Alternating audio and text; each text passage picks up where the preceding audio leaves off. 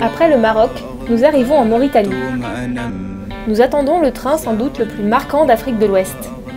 C'est le plus long du monde. Ce train minéralier peut mesurer jusqu'à 2 km.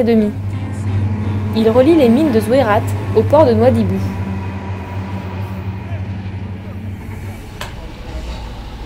Alors Jérém, tu fais la visite? Alors, nous avons ici une douche euh, privative.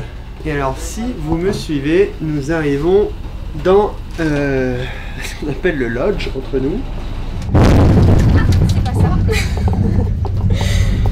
bon ça, ça arrive à peu près euh, toutes les demi-heures, donc euh, on va s'y faire.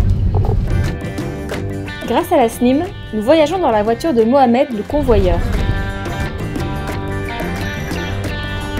Plus haute que les wagons, elle nous offre une vue panoramique sur tout le train et le désert alentour.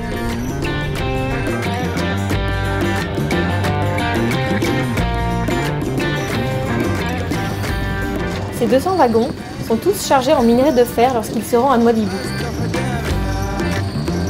Depuis 1963, il n'a jamais interrompu son trafic et joue un rôle essentiel dans le ravitaillement des villages du nord de la Mauritanie.